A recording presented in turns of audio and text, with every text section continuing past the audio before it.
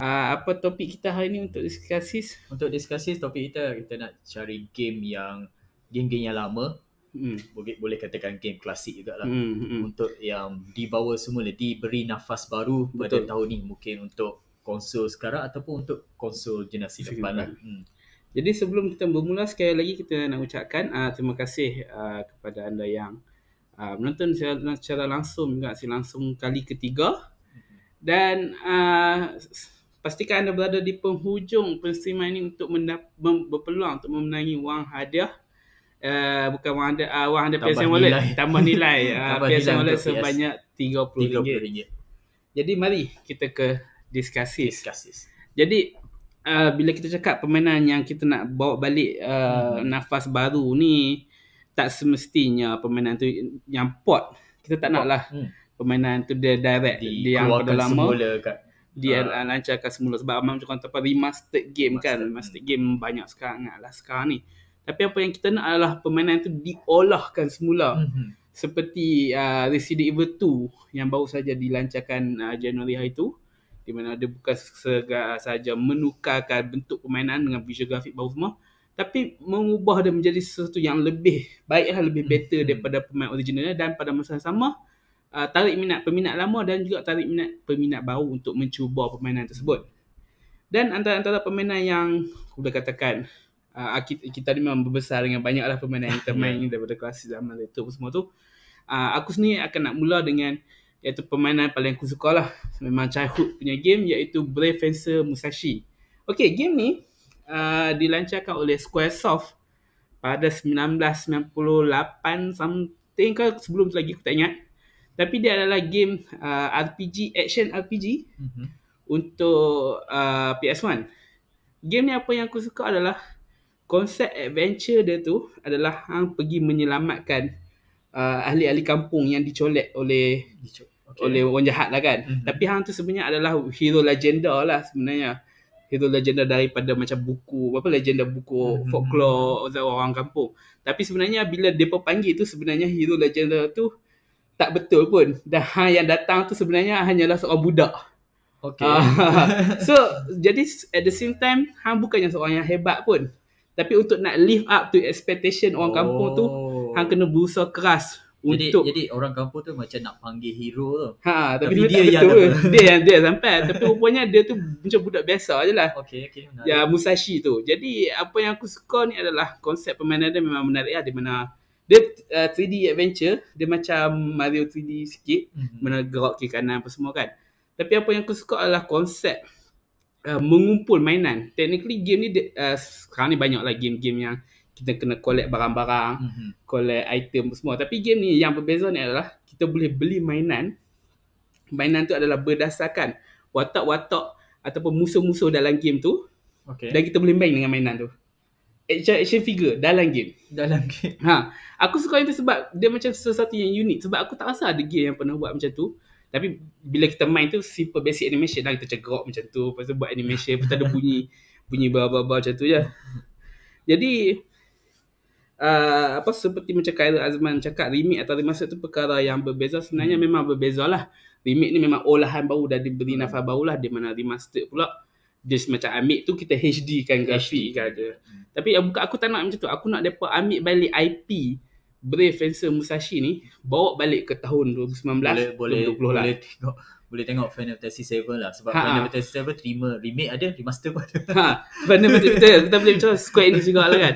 Uh, technically remastered di HD kan uh, Yeah. 1080p tapi ada juga remake yang bakal dilancarkan March Hmm. tahun depan dan yang tu memang cantik lah memang totally Yeah. lain lah apa semua Lain. gameplay kan tapi aku harap mereka ambil balik IP-IP mereka yang hak lama, dia tak sentuh sebab Hmm. Musashi uh, first time dia uh, mereka release balik macam reboot punya version dekat PS2 iaitu Musashi uh, tak ingat Brave Brave Warrior Musashi something lah tapi yang tu aku tak berapa suka sebab konsep dia macam kurang menarik sikit sebab story dia uh, Musashi tu agak douche.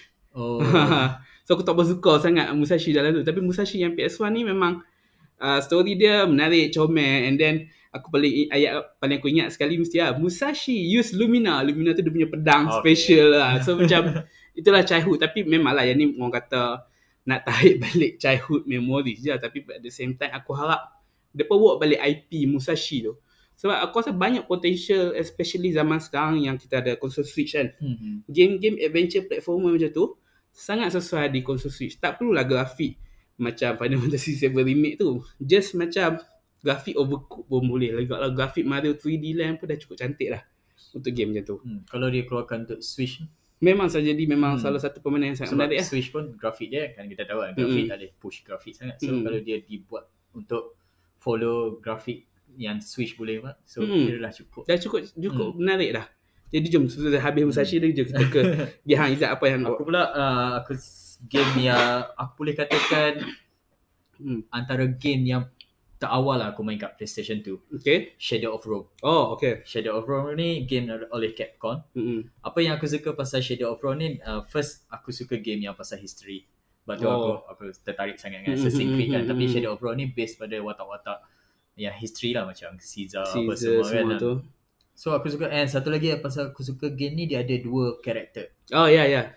Dia ada Seorang aku lupa nama tapi seorang uh, dia macam, Macam warrior, warrior Spartan tu kan. Spartan dia dia tentera. Ha. Seorang lagi dia macam anak bangsawan lah. Horatio kot something nama Ah, dia. Aku tak something ingat. dia. Tak ingat. Tapi anak bangsawan lah dia. So bila ada dua karakter Mm. and dua-dua karakter ni dimainkan berbeza. Bentuk macam betul. warrior ni kita akan mostly akan dalam game tu akan spend dalam dalam tempat lawan gladiator. Hmm, Dia akan gladiator. jadi gladiator yang kita akan lawan. So combat memang fokus kat dia. Hmm. And bila pergi kat anak bangsawan ni dia macam stealth. Hmm. Game dia akan jadi stealth and terkarya. Basically akan ada kawasan tu macam puzzle. Macam mana So- nak lepaskan satu kawasan tu tanpa Dikesan. sebab dia tak boleh lawan. Ha, so ha, kalau ha. orang nampak uh, macam uh, penjaga pun nampak dia memang dia Dia- habis lah. dia over lah Ah, kan? Dia over. So Hmm. aku suka game ni sebab satu lagi sebab aku nak dia dibuat semula sebab aku tak habis main. Oh. Aku main masa Hmm. PlayStation tu aku tak ingat kenapa tapi aku dah dah jauh lah. Cuma Hmm. aku tak dapat nak habiskan. Tapi bila aku tengok balik gini macam bila aku teringat balik sekarang game ni Hmm. aku nak main pun macam grafik pun dah Dah kurang agak kan, macam outdated lah PS2 nak nak kan. sekarang kan. So aku harap aku harap dia buat sequel. Aku pernah kata kalau Hmm. kalau dia buat sequel, aku just boleh ingatkan balik game lama and Hmm. main sequel kan Hmm. baru tapi sequel macam susah sebab lagipun dulu pun dia tak dijual dengan baik. Hmm. So kalau dia buat sequel takut nanti fanbase pun tak ramai. Hmm. So kalau dia buat balik sebab lagi pun Capcom Capcom yang banyak buat balik. banyak juga IP-IP depa yang depa bawa balik. Ya, tu lah kalau ada Shadow of Rome sebab menarik unik walaupun sebab ada dua karakter dalam satu game and dua-dua ada gameplay yang berbeza. Aku suka Hmm. juga tak silap aku even yang gladiator yang first tu dia ada Hmm. macam mission dia menahan naik ke atas uh, Oh, chariot. chariot tu kan. Ada, ya, Ha, so Hmm. Shadow of Rome ni memang salah satu orang tak apa hidden gem lah dekat PS2. Sebab aku tak rasa ramai orang pernah sebut yeah. Pasal gitu memang agak memang tak agak underrated tapi aku suka sebab yalah macam Han cakap dia ada dua watak berbeza story Hmm. dia pun intertwine each ada, Hmm. ada ada apa berkaitan antara satu sama lain kan memang uh, one of boleh katakan hidden gem untuk PS2 dan siapa yang belum pernah uh, tahu pasal Shadow tu mungkin lepas uh, streaman ni boleh pergi tengok Boleh check, ke hmm. salah satu uh, Capcom punya orang tu zaman uh, Capcom ni naik dulu waktu PS2 dulu dengan game dia May Cry ya, apa semua. Shadow of Rome ni dulu memang ada plan lah nak buat Shadow of Rome 2. Oh memang dah eh? Tapi dia cancel sebab jualan Shadow of Rome Hmm. pertama tak okay. Tapi team yang buat Shadow of Rome 2 tu sepatutnya buat Shadow of Rome tu dia buat Dead Rising.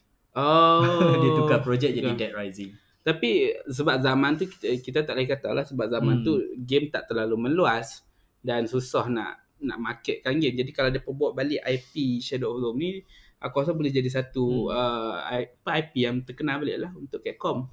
Dan okay, mari kita ke seterusnya iaitu uh, juga daripada Capcom uh, banyak Capcom juga lah Capcom banyak banyak. Capcom ah, ni kan iaitu Mega Man Legend. Okay, Mega Man Legend ni memang dekat lah dengan aku punya childhood. Sebab paling aku ingat sekali adalah Mega Man Legend 2 di mana aku main berulang-ulang kali. Banyak kali gila aku main sebab dia punya story dia comel, dia punya gameplay best, lepas tu dia punya customization uh, karakter tu banyak. Tapi mari kita terang pada awal. Okay, Mega Man Legend ni dekat PS1 dia ada dua game Mega Man Legend yang pertama dan juga Mega Man Legend 2 yang mana dilancarkan sekitar 1990 something. Tapi uh, apa yang aku suka game ni adalah dia ambil balik watak Mega Man yang terkenal Mega Man kan. Mhm. Tapi dia ubah bentuk kepada action 3D adventure. So dia ada ada sikit elemen dungeon crawler sebab technically ha- you apa uh, watak Mega Man tu adalah watak hunter something aku tak ingat apa dia panggil. Dan depa akan masuk dungeon-dungeon untuk mencari kristal-kristal tu lah. Tapi apa yang buat aku suka sangat adalah uh, especially Mega Man Legend 2 di mana terdapat banyak uh, weapon setup. And then dia punya story di expandkan sampai space lah apa sampai lawan dengan technically ayah dia ayah Zul something. Mhm. uh, dia ada watak teman dia tu Zul yang perempuan merah tu. So story dia expand daripada tu dan uh, stage paling aku ingat sekali adalah Mega Man Legend 2 start stage tu hang punya kapal terbakar. So mission hang adalah jad, uh, tak padam kat api. Pada kafi. dengan monyet tu aku tak ingat apa nama monyet tu. Tapi game ni adalah memang klasik. Uh, Mega Man uh, kalau you guys pernah follow uh, event kat Asis ni kita pernah melaporkan yang uh, Keiji Inafune dia nak bawa balik tau. Mhm. uh, game style macam Mega Man Legend dengan Rush Red, Red Rush something Tapi game tu tak dapat sambutan daripada biaya sama Kickstarter Oh, lah okay. tapi uh, sebelum ni pun sebelum tu depa pun dah develop Mega Man Legend 3 untuk 3DS. Dah ada screenshot apa semua dah. Tapi game tu dibatalkan duka ceritanya lah. Tapi aku nak Capcom ambil balik projek tu, release Mega Man Legend. Tak kalau tak olah baru pun the third uh, buat balik the third one. Tapi aku rasa better olah baru sebab nak tarik balik uh, apa orang untuk kenal Mega Man Legend ni sebab aku aku tak rasa ramai kenal Mega Man Legend. Uh, ramai mungkin kenal Mega Man biasa, Mega Man uh, X tu. Dan Legend ni antara hidden gem jugalah di antara siri-siri Mega Man ni. Dan bagi aku kalau uh, sekarang dengan ada Switch which is uh, grafik tak perlu tinggi, total cost tak perlu banyak. Mhm. Aku rasa kalau dia pun nak bawa balik game yang macam tak adalah triple A level lah macam uh, kita boleh kata game level 40 dolar untuk konsol Switch dan game Mega Man Legend sangat-sangat sesuai sekali. Dan sebelum ni pun Mega Man Legend 3 di-develop untuk 3DS. Jadi why not ambil balik that project bawa ke Switch. Ah, so mari kita ke game pilihan seterusnya. Pilihan aku seterusnya adalah game PSP. Mhm. Uh, game ni dibangunkan oleh Level 5 tapi dia diterbitkan oleh Sony eksklusif untuk PSP JNDR. Ah, game ni lama aku tak dengar. Aku suka uh, JNDR ni dulu aku main sebab aku tertarik dengan Final Fantasy Tactics. Ah, okay. Okay, aku aku tengok orang main and ramai yang cakap pasal Final Fantasy Mhm, Tactics mhm. antara Final Fantasy game yang terbaik lah Final Fantasy Hmm. and lain bukan RPG kan. Tapi bila aku main Final Fantasy Tactics aku macam tak berapa suka dengan grafik dia. Boleh tapi sebab dia lah grafik retro lah dia, kan. Dia PS1. Ha. So bi- jadi aku pun aku macam okay carilah game-game alternatif. Aku pun macam cari alternatif Final Fantasy Tactics punya alternatif. Hmm. Dan antara yang dimension adalah JNDR ni. Hmm, hmm, So hmm. bila aku main aku rasa memang aku suka lah. First Hmm. story dia memang best and hmm. dia JNDR ni kalau kita tahu uh, dia based on sikit lah dia based on watak yang real real world punya watak French ke apa something lah. dia, dia gen- pejuang French lah Ah, dulu ah. JNDR tapi bila dalam game ni dia dah fiction kan sebab Yelah. dia dia tapi dia stay kekalkan uh, penciptaan yang England lawan France tu Ah, ah, England ah. lawan Perancis dia stay Ah. kekalkan cuma dia tambah elemen macam ada demon Oh. macam demon ada ah, ada control game France Mm-mm. demon ada control game England Hmm. So bila country tu berperang pun sebab demon. So dia Hmm, tambah hmm. elemen tu lah, tu yang aku suka. And plus dia adalah game uh, tactic Mhm. which tactic dari dulu lagi aku suka. And aku rasa JDR ni dia macam kat PSP je and aku tak rasa ramai yang dapat main. Hmm, betul betul. Hmm. Sebab dia tetapi satu lah masalah bila game uh, strategi ikut turn based Hmm. ikut turutan ni dia agak niche sikit lah. Agak niche. Agak niche Hmm. lah. Tak semua orang uh, berpeluang tu nak cuba main. Tapi yalah bawa-bawa balik Bawa series. balik. Sebab sebelum ni dia memang eksklusif untuk PSP. Hmm. And, tapi dibangunkan oleh Level 5 so tak tahulah sekarang IP JDR ni dulu Hmm. dengan siapa kan. Level 5 pun terlibat dengan Nino Kuni kan. Level 5 ya. Level Ha, 5 so, so boleh katakan kalau dia pun nak bawa balik uh, JNDR ni tapi visual grafik macam Nino Kuni. Mhm. Oh memang mesti sangat best lah. Aku even Nino Kuni pun dah release dekat Switch. Jadi possible juga.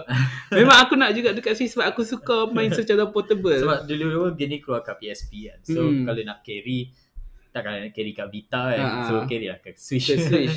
Tapi kalau even the release uh, apa dekat konsol PS4 pun kalau depa berjaya kekalkan that concept of uh, guna Gen art punya ni juga Hmm. tapi mungkin tukar kepada game action apa pendapat hang?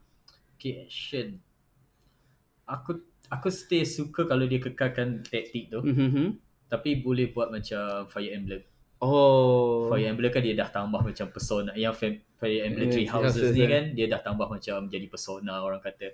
Based on Character. uh, dia tambah macam tu. So uh, kalau combat tu dia kekalkan taktik sebab tu yang aku suka pasal Jane dia. Kalau dia Hmm. keluarkan Jane di art and Hmm. buat action aku rasa macam ni bukan game yang aku main dulu lah. Tetapi tak mengapa maafkan kami uh, ada problem sedikit dekat uh, kami punya software untuk penstreaman ni.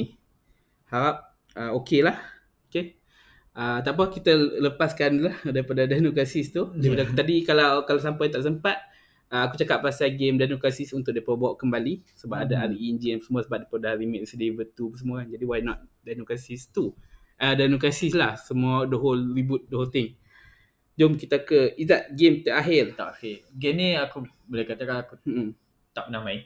Okay. Tapi aku nak dia buat balik. Oh, sebab okay. aku rasa dia penting. Oh. Metal Gear Solid. Okay.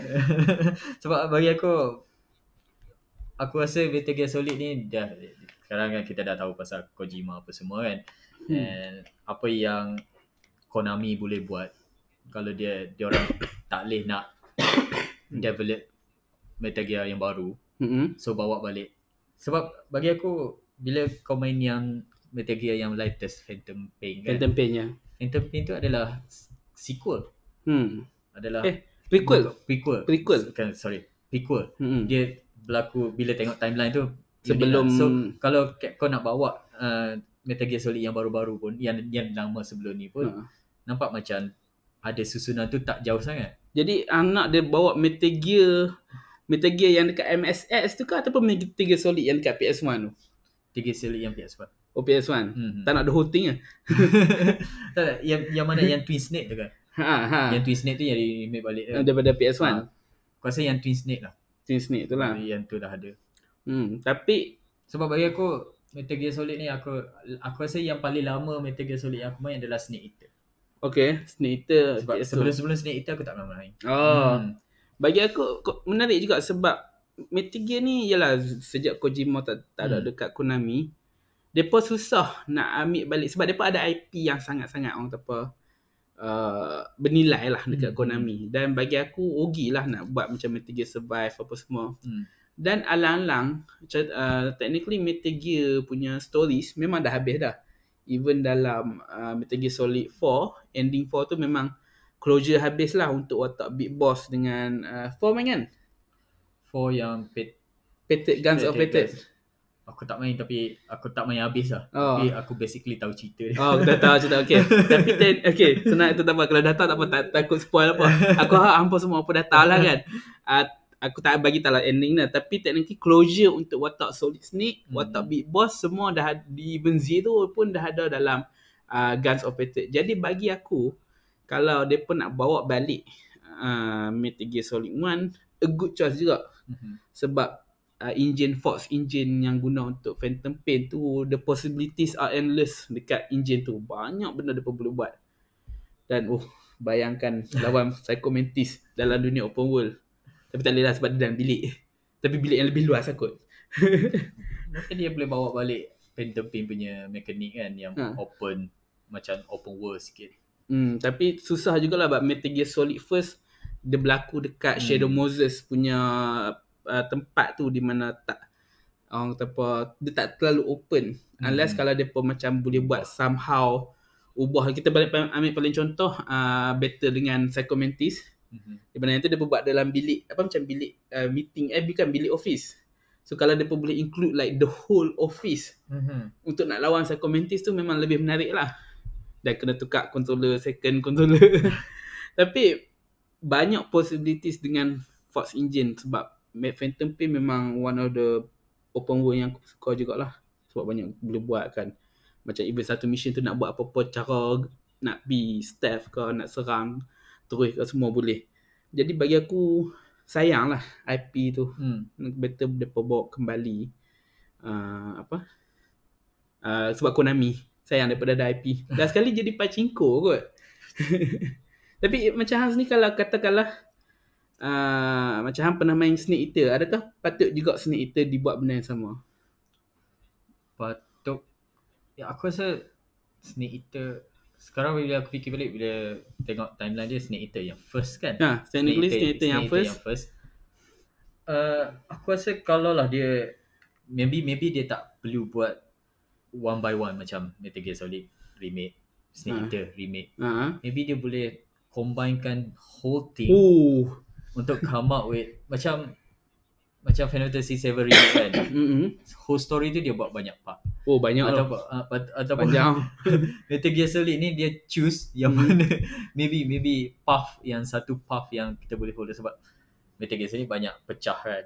ha Maybe kita boleh follow satu path and ambil mana part yang penting tanpa ubah dia punya Hmm. story and macam retool balik dengan balik new dia. engineer, new grafik apa semua lah Hmm. and cara mainan baru.